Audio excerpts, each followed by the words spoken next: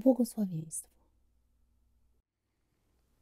Błogosławieństwo to uczynienie kogoś albo e, przekazanie mu e, jakiegoś życzenia, szczęścia. E, matka, która błogosławi swoje dziecko, ojciec, który kładzie na syna swoją rękę i posyła go, błogosławi go. Błogosławieństwo to jest takie doświadczenie bycia posłanym i bycia pewnym, że za tobą stoi ten, który cię posłał. Jesteś pewien, że nie idziesz sam, że masz za sobą kogoś, e, kto cię uczynił posłanym.